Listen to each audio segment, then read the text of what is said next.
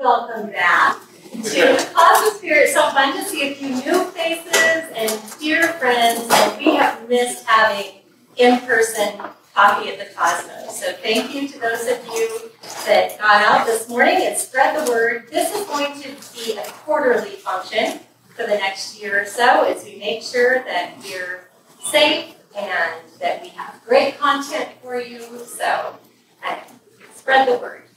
And I want to thank all of our Facebook Live friends for joining us as well. And I know a lot of you tuned in virtually as we were bringing you streaming coffee at the Cosmo. And we think that we have some great content. The best part is, if you like what you find today, you can find more on our website and on our Facebook page because we record all of this programming and then it's available online for your use at any time. It will also become part of our virtual resources that we're going to be making available to the public this fall. So stay tuned for that. And we have some great things coming up. Not only do we have the famous and fabulous Jim Remar coming to talk to you about his, his expertise in space history and LB7, but as you all are probably aware because it's all over your tables and we hope all over the internet. Uh, this is coming up on the 60th anniversary of the LB7 mission, which is uh, the 21st of July. So on that date, it's going to be a big day here because who has the Liberty Bell 7? We do. We do, and it is a we. Our community is home to the Liberty Bell 7. That is such great news. So bring your friends back on Wednesday. Starting at 12.30, Jim will be doing a similar but different presentation and building questions, and then followed by Jim's presentation looking back at Mercury. We'll have a representative from NASA who will be looking forward to Artemis, and she's the communications director for the Artemis program, and will be able to tell us uh, a lot of her uh, stories and insight into that program and the things on which we stand on the brink of space exploration. So we're looking forward to that.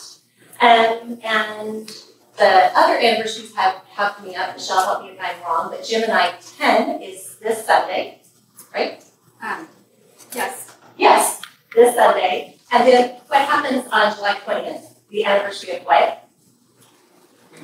Hold on. Thank you. Thank you, Charlie. Woo, me there. Apollo 11's anniversary. And we have artifacts representing all of those missions. So make sure that if you run across any friends in your circles that don't know what the Cosmosphere is about, this is a great week to bring them in. And we have some scavenger hunt sheets by the door that's all about Liberty Bell 7. So if you do take a chance to stroll through the museum, go on a scavenger hunt like you. So. So with no further ado, I want to introduce our CEO and President, Jim Remar, who is indeed a noted expert on all things space history, particularly Mercury, Gemini, and Apollo missions. In fact, he was just interviewed for a, a very popular podcast last Thursday. So he's really our man of the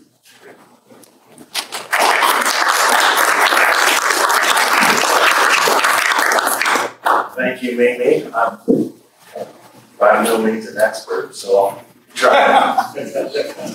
uh, I do want to thank um, our marketing and development team for um, setting up the coffee at the Cosmo. Um, Michelle and Kelsey and Mimi and Maria um, all did a phenomenal job getting us back live, and thank you to Sam uh, getting the room set up. So it's, it's great to see everybody back.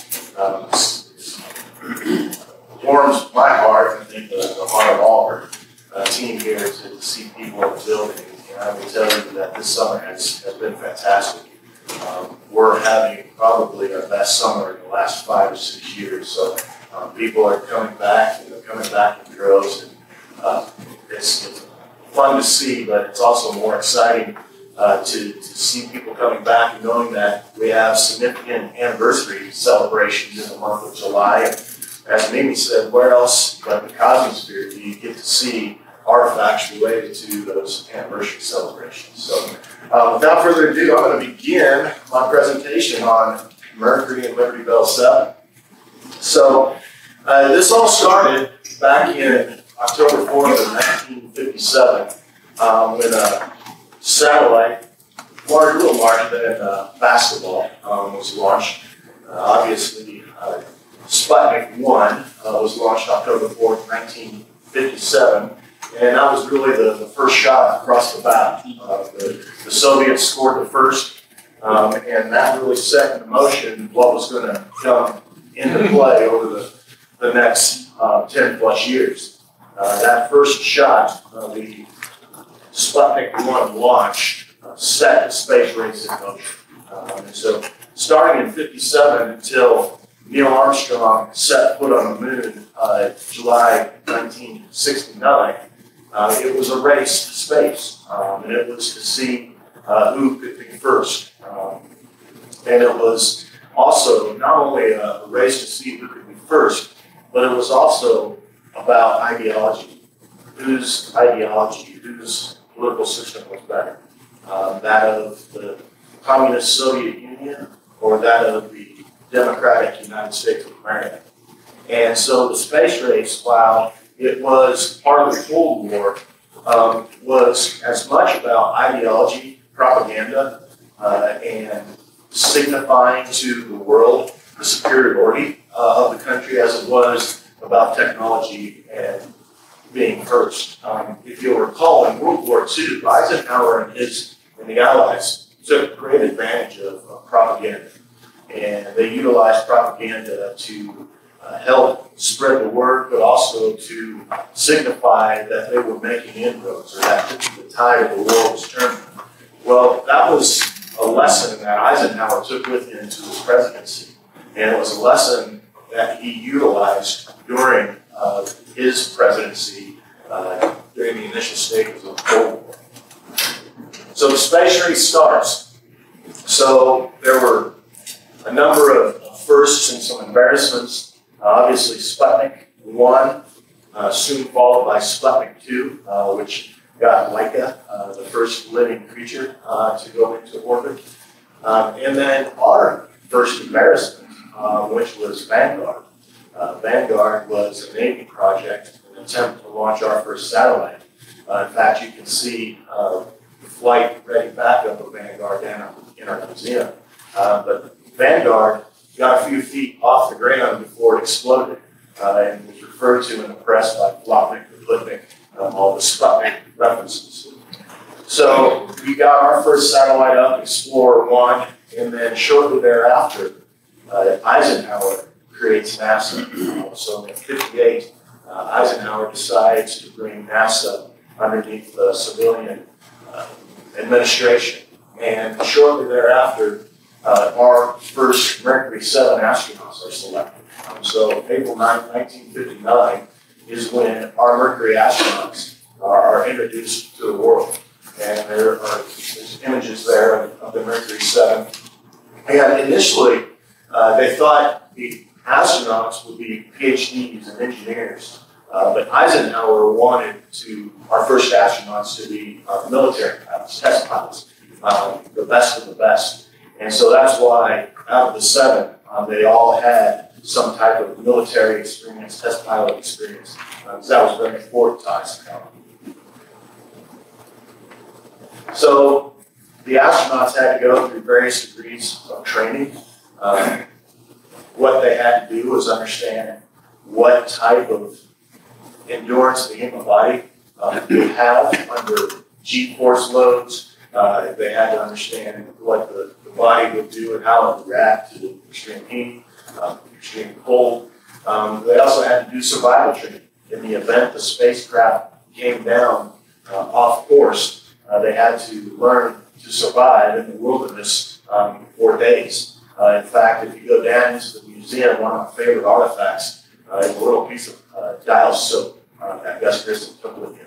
It was in his survival kit, and I always wondered why you would take dial soap with you on a 15-minute suborbital flight, or if you got lost um, in the wilderness, um, would you really care how you smell? Um, but it was because if, if Grissom was injured uh, or had a cut, um, dial soap would be used to, to clean that wound and, and help prevent infection. So what was Project Mercury? Uh, Project Mercury was our first attempt to get humans into space and to get humans into orbit. And there were three primary objectives.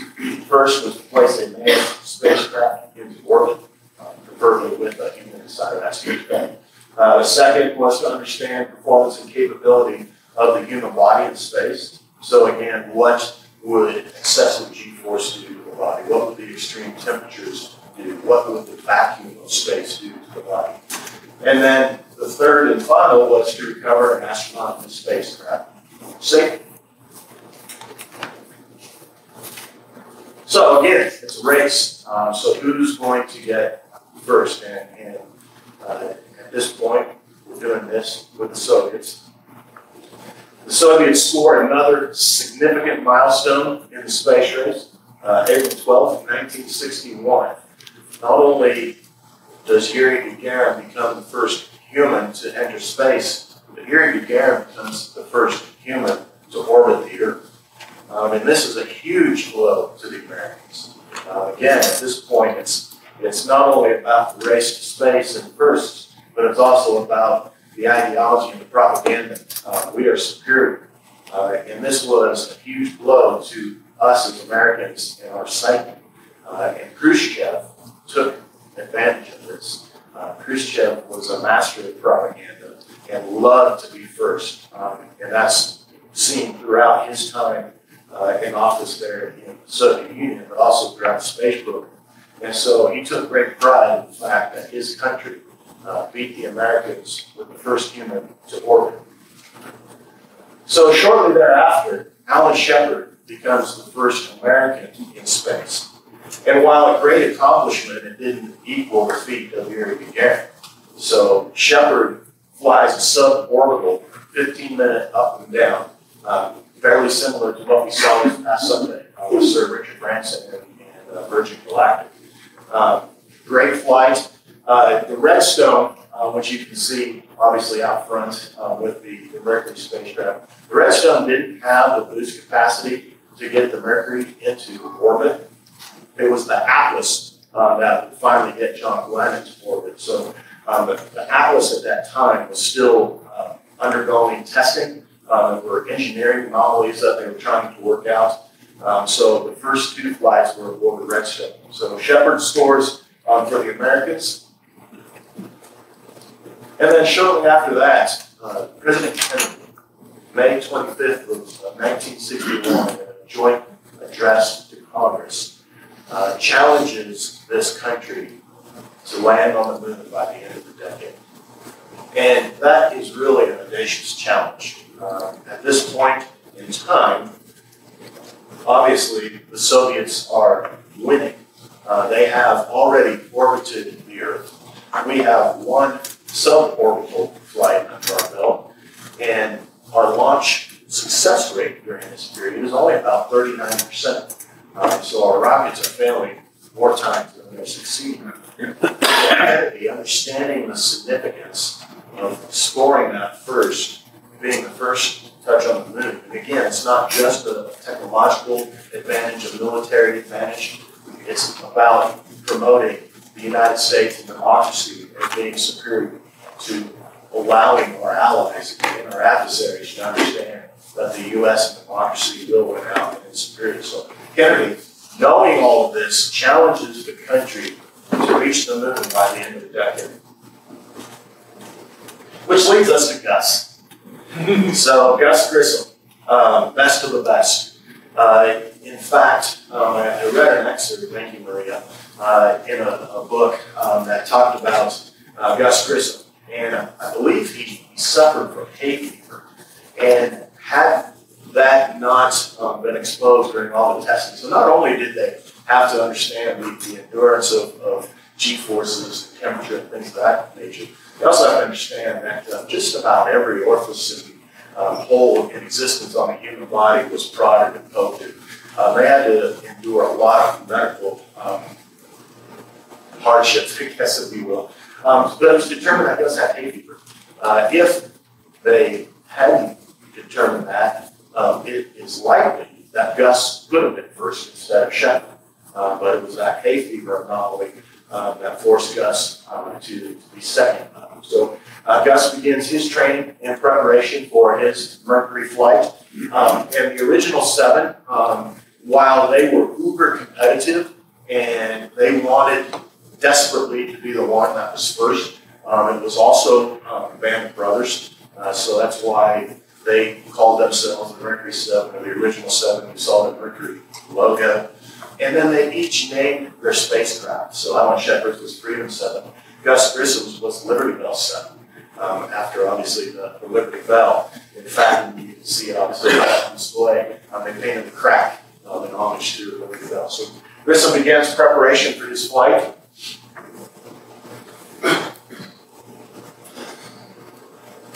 Getting suited up, ready to go. And on July 21st, 1961, Gus Grissom launches from Complex 5-6 uh, aboard the Redstone, uh, Mercury Redstone 4 uh, Liberty Bell spacecraft. And all accounts, uh, textbook flight. Same as Shepard, 15 minutes suborbital, basically up and down. Uh, lands in the Atlantic Ocean. You can see the recovery carrier off in the distance, and then the helicopter there um, to recover uh, Gus Grissom. Uh, again, textbook uh, in Grissom was one of the best. Uh, so he's preparing his spacecraft, uh, doing, going through his checklist, had yet to uh, prepare his suit. So if you're familiar with the Mercury suit, we have Wally Schirra's flown Mercury on display downstairs. before you exit the spacecraft, you have to plug the ports and you have to put that in and this prevents uh, the water uh, from filling the space. So Grissom had yet to do this. As Grissom is sitting there, um, the hatch on the capsule blows prematurely. Unlike the Apollo, the Mercury hatch is bolted in place. So uh, there's approximately 70 bolts uh, that go around the exterior and, and place uh, that hatch, lock that hatch in place. Um, the astronaut, when he was ready, would then hit a plunger, uh, which would detonate um, the, the, bolts, which were explosive. Um, so those 70 bolts would explode, and then uh, explosion would jettison the hatch away from the spacecraft. Uh, as Grissom is working through his checklists, he hears boom, and the hatch blows prematurely. Instantly, water starts flooding into the spacecraft. Again, thank you, Maria. Uh, in uh, book um, by Douglas Brinkley, um, phenomenal historian and author, uh, he depicts what the public was actually seeing on TV. So as water is flooding into the spacecraft, as Grissom is drowning, the public is seeing on TV a landing and a recovery that is going by the book. Um, what had happened was they had filmed uh, the, the, rehearsal for the recovery, and so the networks, NBC and I think maybe CBS, uh, then showed that film rehearsal as what was happening um, during the course of, of Grissom narrowly escaping uh, death. So the public became confused because they're seeing one thing on TV, but then they're getting reports from the media about Grissom narrowly escaping. Um, so it, it led to a really confusing time, perhaps helped spur some of the conspiracy theories um, further down in the Apollo. But anyway, Grissom uh, is fighting for his life. Initially, the recovery helicopter connects to the spacecraft. The second copter comes in and sees Grissom is struggling. He's drowning. He initially was waving. They thought, well, that means he's okay. So they, the first helicopter was paying attention to the craft. The second helicopter, realizing that Grissom was drowning, picks him up, gets Grissom up, they then attach to the, the spacecraft, and at this point, water has flooded in, um, so the, the, weight of the spacecraft is too heavy uh, to lift it up out of the ocean. So what the recovery copter was going to do was they were going to tug it back to the carrier. As they started tugging it, a light went on, uh, emergency light, warning light went on in, in the helicopter cockpit, uh, indicating that there were metal shavings uh, in, in, the oil. And so, fearing that the copter um, would go down, they, they cut the craft loose. So this was July 21, 61. There's another view of trying to pull the, the helicopter up. Grissom being rescued and the Liberty Bell. You'll note, I don't know if you'll be able to see it. See the, uh, the die there? Um, so that's a dye marker. Um, and that is to help locate the spacecraft. So the recovery copter, um, we see the dye, and I'll, we'll talk more about that in, in a while. If I forget, remind me. Grissom safely aboard. Um, he gets onto the ship. Obviously, he's drenched. Uh, Kennedy calls him. because Kennedy hears about the issues and calls to ensure that Grissom's okay.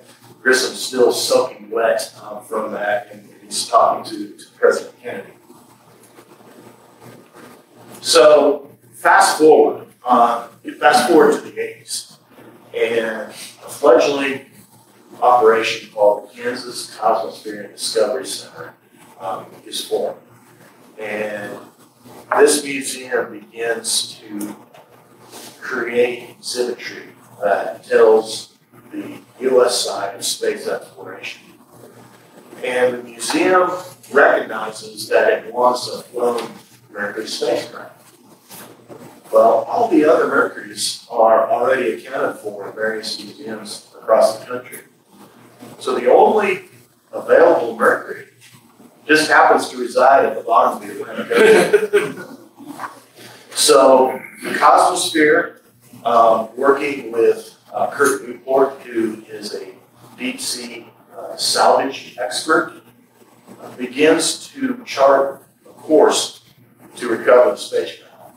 Um, so beginning in the 80s, Curt and Cosmosphere began interviewing uh, scientists, NASA, uh, studying the ocean and the wind and currents, all in an effort to determine where the spacecraft might be located.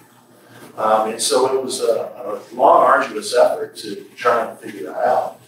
Also, at this time, the technology that existed wasn't sufficient to try and locate uh, something that was 16,000 feet beneath the surface of the ocean, deeper than the Titanic. so in 1999, Oceaneering, or I'm sorry, the Discovery Channel um, approaches uh, Cosmosphere and Curt Newport um, about leading an expedition to find and recover Liberty Bell 7.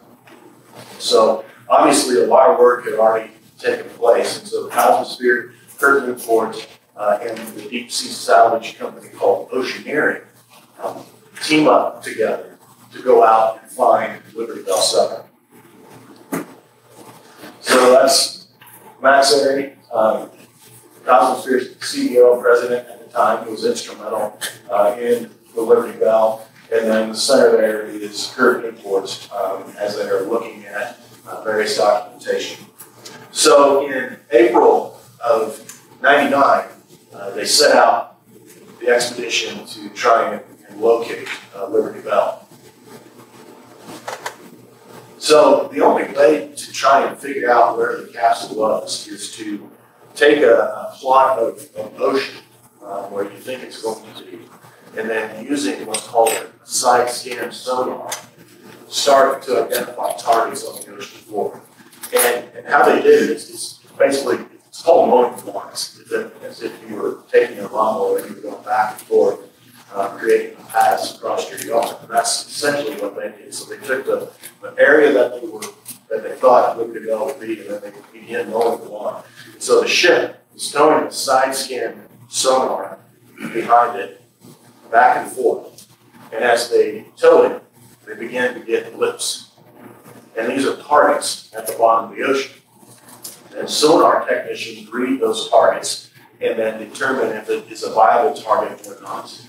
Um, I believe they hit 18 targets and then had nine that they identified as being uh, potential Liberty Bell 7.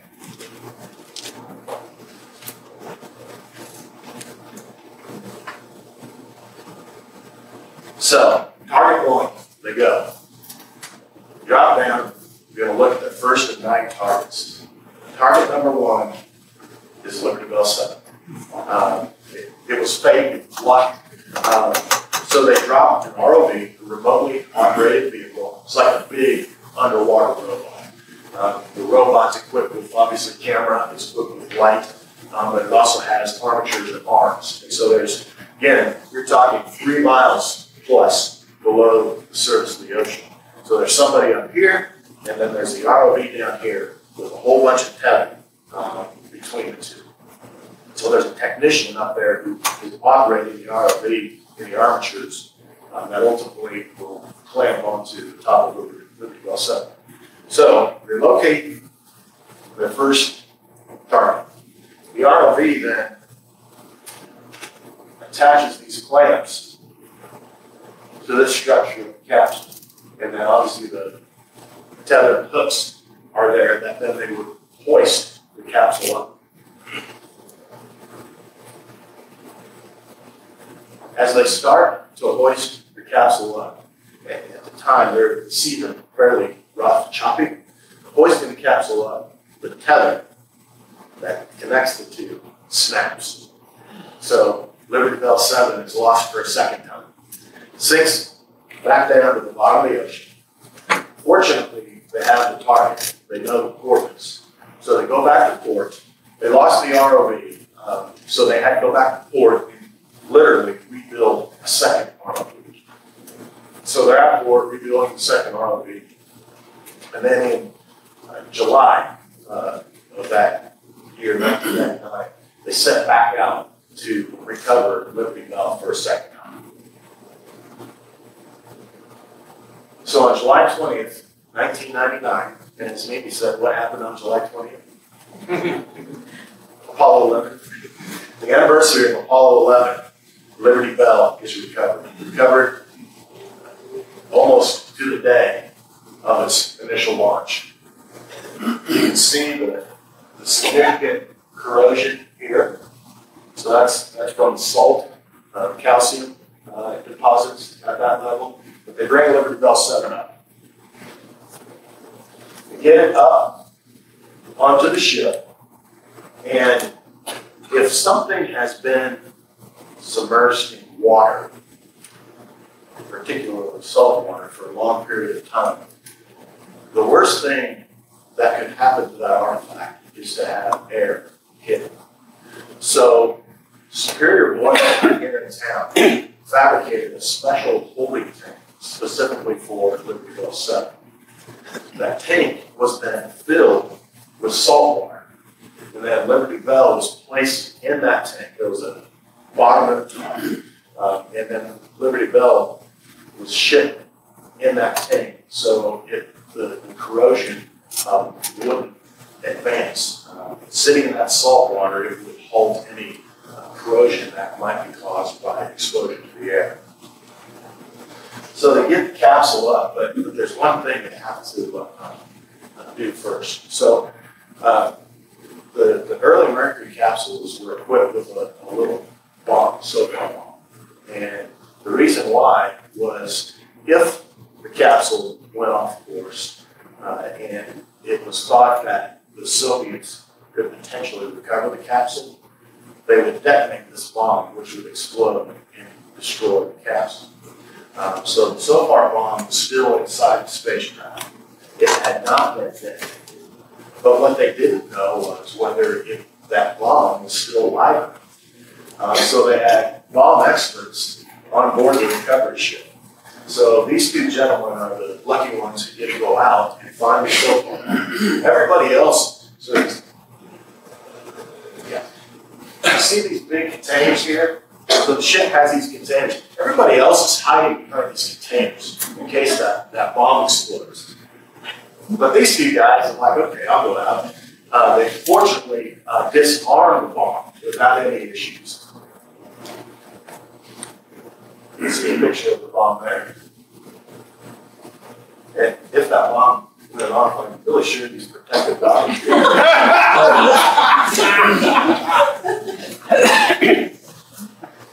there's Curt Newport Liberty Bell 7. She's up, she's safe. You can see the corrosion up here, but then look look in here. Uh, this it, it's just full of corrosion, but from the bottom of the hatch the bottom of the cockpit is full of debris.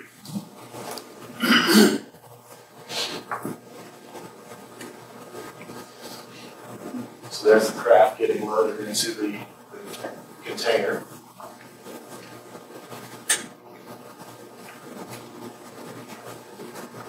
These are these are styrofoam cups. There's a bag of them. These were attached to the ROV.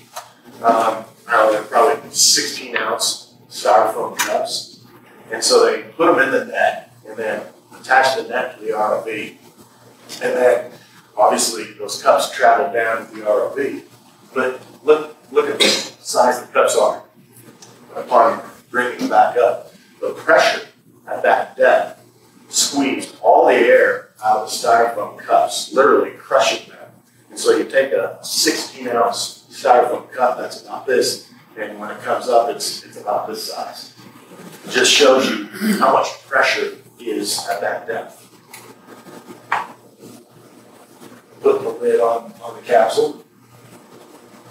So, anybody know who this is? Yeah. Yeah, Guenter. Uh, so Guenter Wendt. Um, Guenter, uh, individual. Guenter Wendt was a pad leader. Um, Guenter, uh, German, uh, was, was actually a, a Luftwaffe pilot. Um, was shot down uh, during World War II. Uh, at some point, Guenter immigrated to the United States. He then went to work for uh, McDonnell. Uh, McDonnell was the contractor who fabricated the Mercury spacecraft. So Guenter uh, was, was one of McDonnell's employees. Uh, at some point, Guenter then uh, becomes a NASA employee, and he is charged as, as the pad leader, the, the closeout, uh, person responsible for the closeout. So Guenter was the pad leader from Mercury all the way through early shuttle. And so what he was, he was responsible to ensure that the spacecraft was ready, everything was a go with spacecraft. Uh, when the astronauts came up, uh, he oversaw the final checkout of the suits to make sure they were ready, and then he oversaw the, the closeout, uh, the, the, the hatch being closed out, and then making sure that everything was prepared for launch. So Guenter is an amazing individual. Um, in fact, if you go down into the White Room uh, on display in our museum, uh, it is signed by Guenter was on board the recovery ship, and the all the people involved, excuse me, with recovery signed the tank, and there's Guenter signing the tank. Then a toast uh, to its recovery. So it's it's then brought back uh, to Canaveral, Port Canaveral, uh, July 21st. Uh, there, uh, it's loaded onto a trailer, uh, and then from that point, it is transported here to the Cosmosphere. Uh, again, our Space Works team, experts in the restoration of, of space artifacts, primarily uh, spacesuits and spacecraft, uh, is going to be the group that's charged with, with bringing this precious artifact back to life. Um, so that's uh, the arrival of the Liberty Bell. You can see the redstone there. Um, so initially, they're, they're letting the water out uh, of the shipping container, and then it's lowered down into the museum. Many of you probably saw uh, the restoration take place. Uh, brought lower down into it, taken into the museum, where our Space Works team had set up a shower. Um, it's actually kind of just a kiddie pool uh, with some curtains and a, a shower head over it. Um, so what they do is they then begin flushing it with clean water. Um, so it resided in salt water. Now you've got to get the salt out. Uh, the, the biggest contributor to corrosion would be embedded salt into the material. So think of it similar to when you go to a dentist.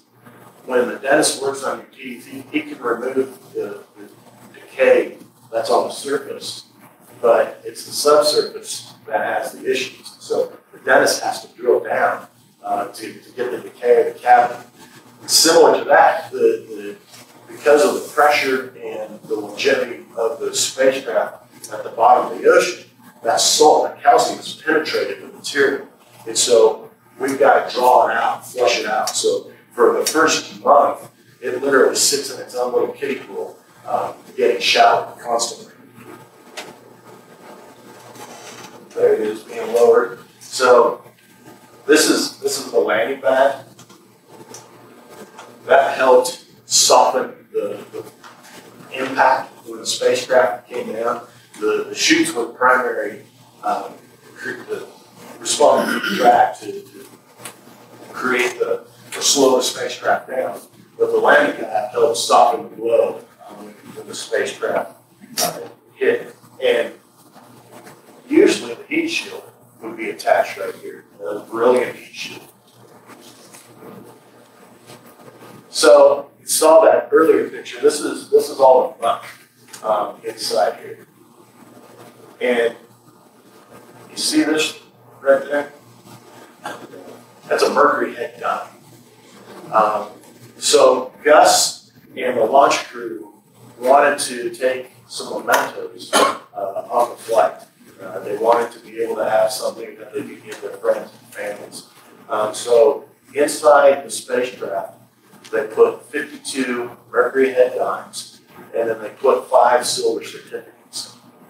And the Cosmosphere had always heard that this um, had, had been done, uh, but didn't know for sure. And they talked to some of the engineers, and they said, "Yeah, we did that." But um, it wasn't until as they started to dig through the muck um, that they located the first dime. So they knew the stories of the real. So they did locate 52 mercury head dimes. Um, they were all scattered uh, throughout the cockpit. And then the five silver certificates were wrapped in plastic and attached to the, the wiring harnesses of the spacecraft. So you can see, you can see the corrosion. So that's, that's salt calcium corrosion. And then this is, this is corrosion created by two things. Um, one, obviously the salt, but there's also a lot of electrolytic activity at those depths. So there's a lot of electric action that's taking place. And the main console, um, which is right here, which would be in front of, of Gus, um, was there's a lot of magnesium utilized to, to create the, the metal in that console. And magnesium doesn't react well with electrolytic activity. Um, so the, console um, started to corrode and deteriorate. The one thing that probably saved the spacecraft was that beryllium heat shield.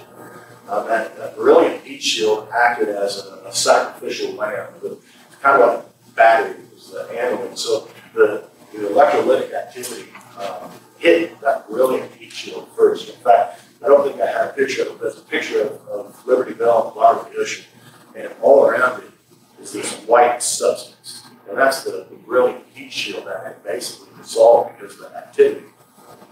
The exterior of the spacecraft is, is titanium, um, so it, it's it'll withstand that. The interior, where there's a lot of magnesium, couldn't. So that electrolytic activity started attacking the, the main control panel. So if you were sitting in the cockpit um, going left to right, it started attacking that. And so that's why if you look at the spacecraft, if you were sitting in the cockpit, that right hand side is more corroded than, the left hand side. It's just that's the path um, that that corrosion is taking. So that one of the other objects that they found inside is Gus's Randall knife. Um, all Mercury astronauts were given Randall knives. Even to this day, Randall knives is a very popular knife in, in the, the world of those who, who like knives. Um, the, the Randall knife was a survival knife, but it was also strong enough to cut the top of the spacecraft out should the astronaut need to escape. So the very top of the craft, the astronaut could take his knife and start cutting his way out should he have to escape out of the spacecraft. So that's a picture of the control panel. You can also see the condition of the wiring harnesses and bundles. So there's there's the spacecraft in its in its shower. Um, the, the kiddie pool is just below it. Um, the shower is just above it. And so for a month, we're flushing the exterior and the interior, getting that corrosion out. So once, once the craft is stabilized, once it's to the point where, um, that, that corrosion, that, that corrosive activity has been drawn out, we begin the process of, of removing the corrosion. So the spacecraft was literally disassembled. Uh, twenty thousand plus parts, uh, are removed. Every piece of that craft is taken apart, from the smallest to the largest. Um, all the switches and gauges in the control panel are literally all taken apart. So there's the shingle pattern. Um, these are the exterior shingles of Liberty Bell. Um, this is the group working to remove the bottom section uh, from the main cockpit. And once the, the craft is halved, then they're able to begin removing all the components, including the wiring harnesses. So for a period of, of six months, um, 12 technicians um, worked two shifts uh, to, to restore that. And the fact that it was done in six months to me is, is mind-boggling. Um, this, this probably would have been a year and a half to, to a two-year project, um, but they were under huge time constraint. Uh, if you recall, Discovery Channel funded the expedition. well, how Discovery was going to get its money back was it was sponsoring a national touring exhibition on Liberty Bell 7. And the exhibit was set to open, uh, I believe, at Cape, uh, Kennedy Visitor Center, uh, in May of 2000. And so, the, the, May of, yeah, May of 2000, trying to get the dates right. Um, so the team had only about a six month window that they had to restore the spacecraft before the spacecraft was set to leave to go on exhibit. Um, and so that, that compressed time frame um, created a, a, lot of anxiety and stress for our team. That's Dale Capps. So if all of you, some of you probably met Dale, he's our SpaceWorks uh, manager. Um, this is Dale when he, let's see, he had started in 90, or 98, so he had been with us one year um, and he's still with us today. Greg Buckingham, uh, many of you either heard of Black or met Black. Um, he was the lead restoration technician. Uh, that's a picture of, of Greg uh, cleaning one of the components. you can see the, the, the little paintbrush. Um, Dr. Gherkin uh, here locally donated a bunch of dental tools uh, to us.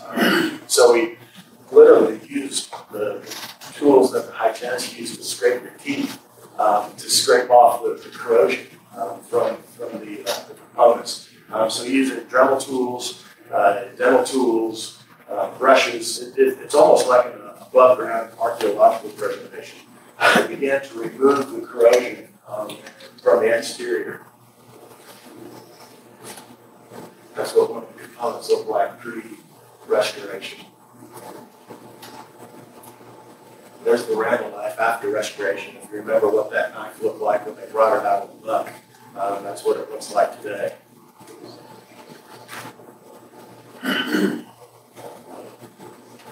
Part of the uh, survival kit, um, pain pills, motion sickness pills, survival kit. There's my favorite dial soap. There's a whistle just in case you wanted to Call somebody.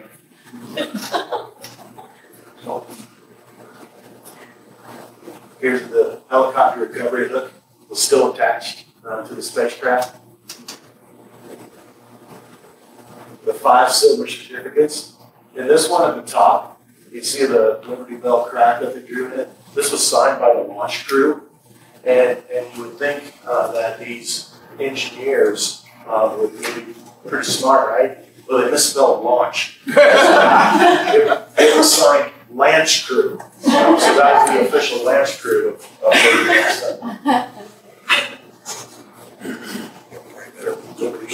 Bell. I don't. I didn't have a picture. of, of the dye canister. Um, but the, so you, you saw the dye around the spacecraft.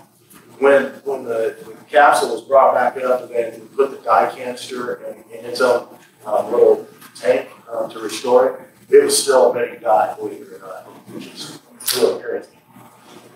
So these are these are the volunteers. Um, so Greg Buckingham um, obviously led the restoration, and then the, the four gentlemen in the red shirts were volunteers um, who helped with the restoration, and then Jim Franco. Um, and, and Jim uh, retired from Dillon's and then came to work for us.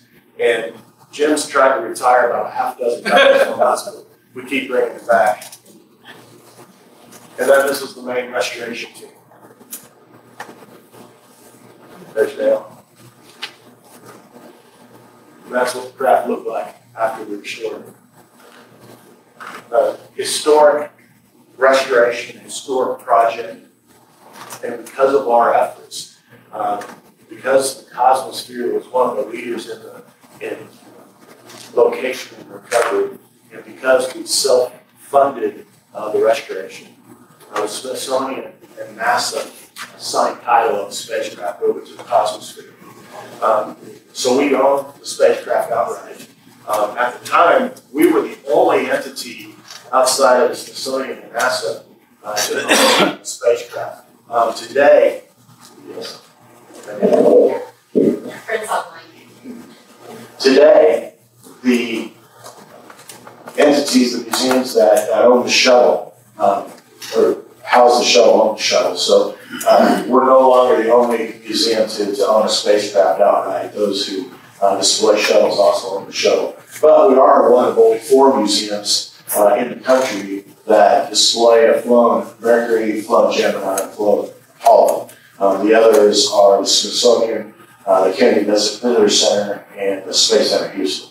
Uh, so we're in some, some pretty good company. And that is Liberty Bell in her old display case um, when she went on display for national tour. So April of, of 2000, uh, she leaves to go on tour. Um, and, and so for the next six years, she literally crisscrosses the United States. Uh, went on display at pretty much every major uh, science center um, across the country. Uh, made a brief stop here in 2003, uh, where the display was set up in the lobby in, in, in this room. And then in 2006, uh, she came back home, uh, but only for a brief period of time. So then she came back home, and then we had her on display down in the, the Hall of Space Museum uh, in the early space flight valley. Uh, but then there, there still is huge interest in Liberty Bell 7, not just nationally, but internationally. Um, so she began her journey um, literally all over the world. Um, she went to uh, Germany um, for a period of time. Uh, she came back home to the States and, and was on display at the Children's Museum of Indianapolis for three years. Uh, she's been up at uh, Prairiefire in Kansas City. Uh, and then came back home, um, was set to go to Brazil uh, this month, um, but, but that fell through. So she'll be on display um, indefinitely, at least uh, through the early part of next year.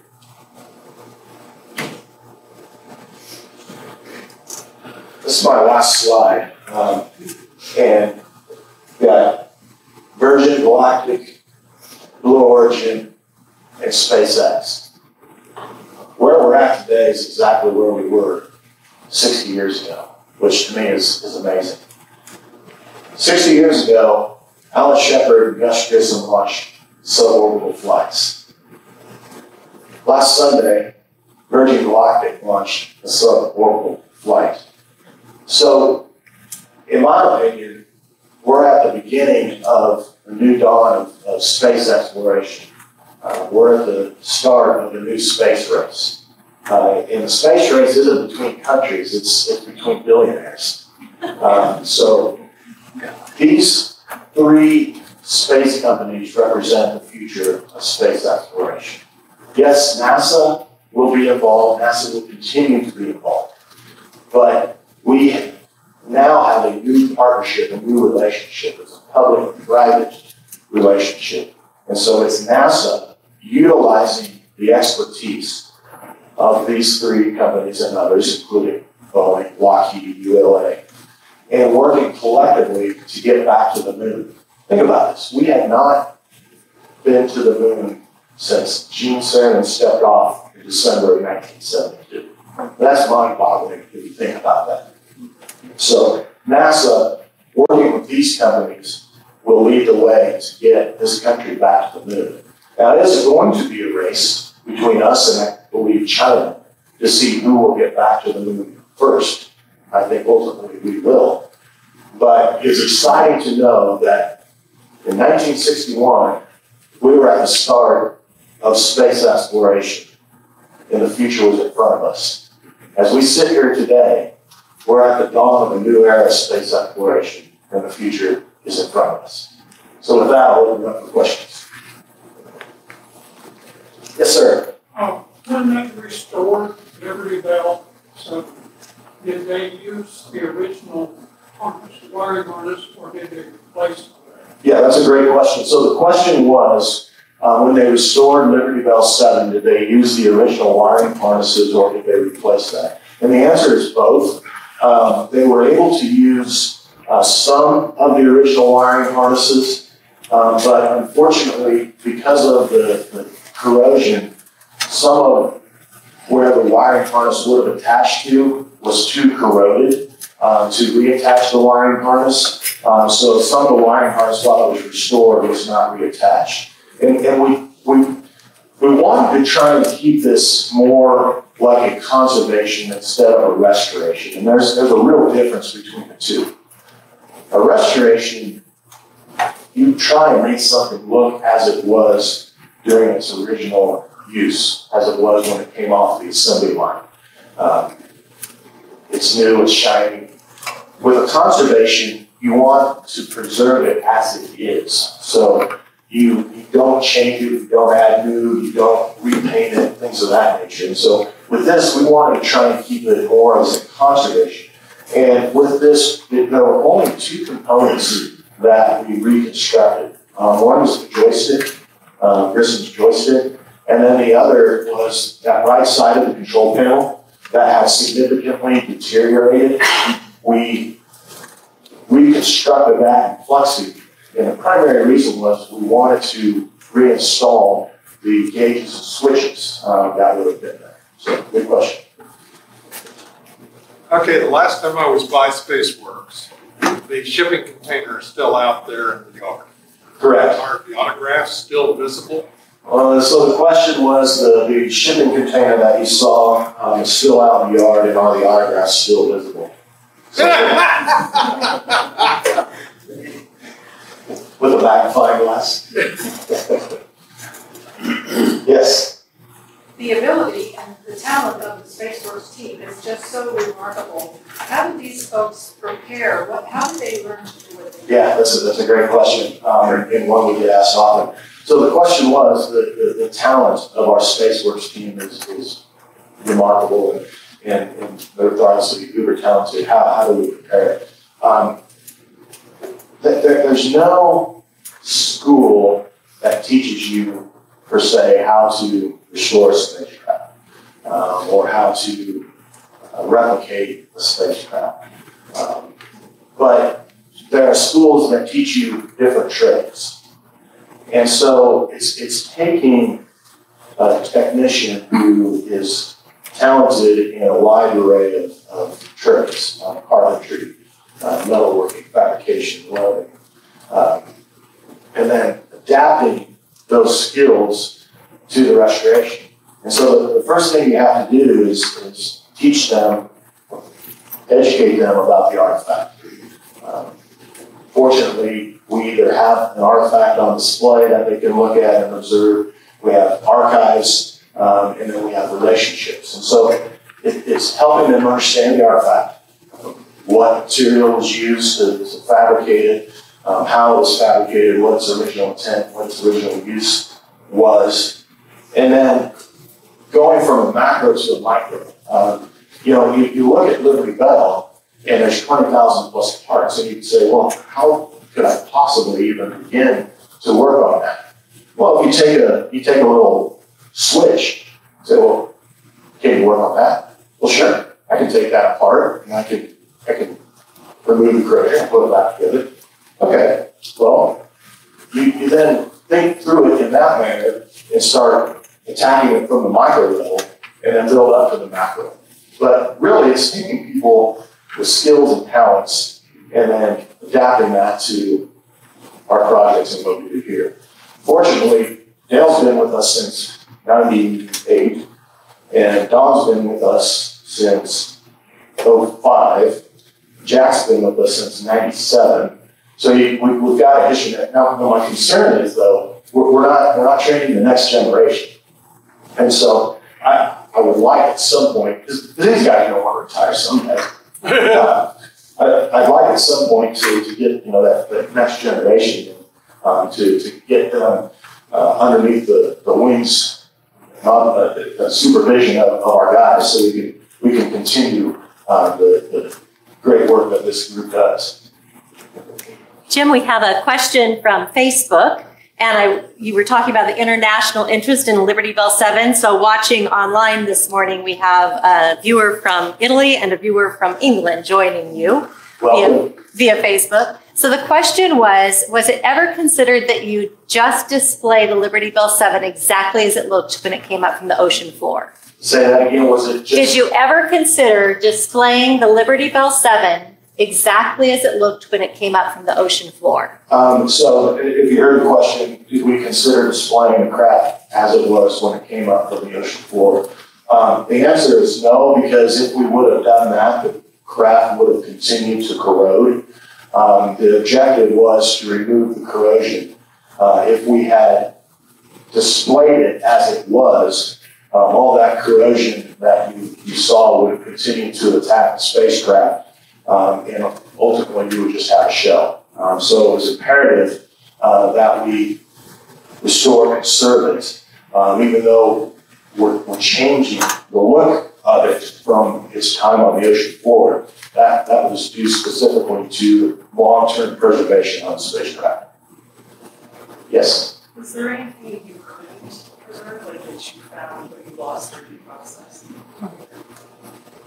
The question was, was there anything we couldn't preserve or or that we lost during the process? And, and I, I wasn't involved during the, the restoration. My, my quick answer is no. I think we were able to preserve everything. We weren't able to reintegrate everything back into the spacecraft, but we were able to preserve everything.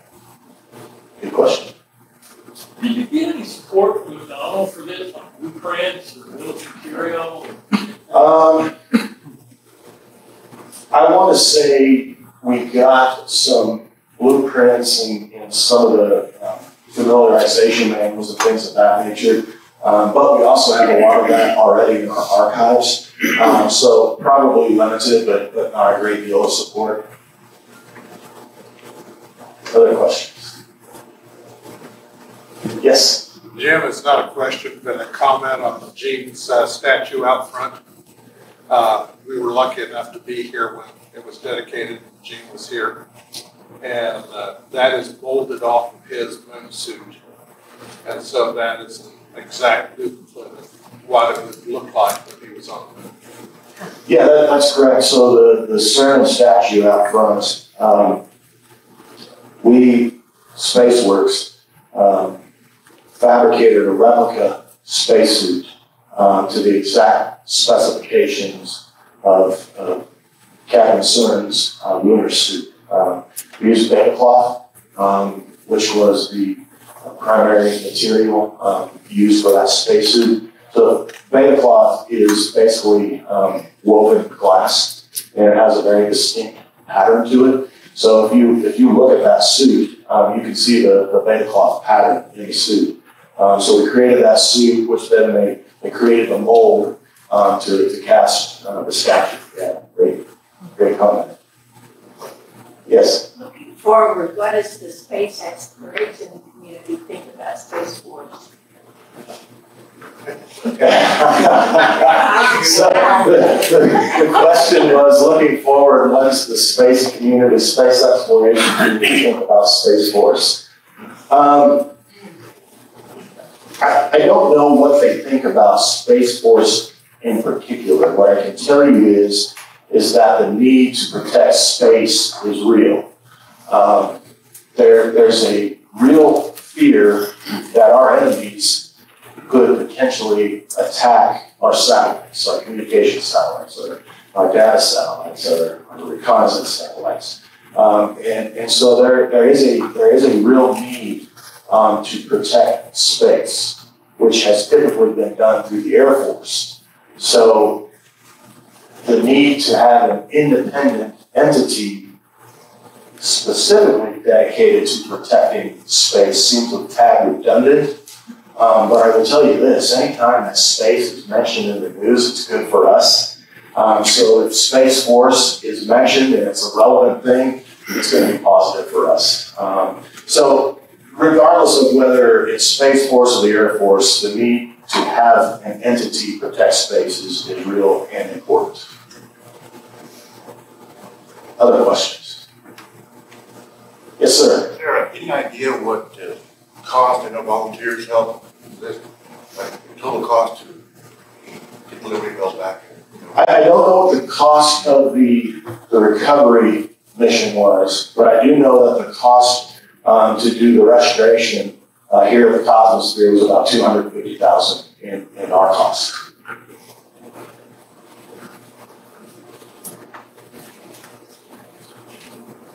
Yes, I'm curious question.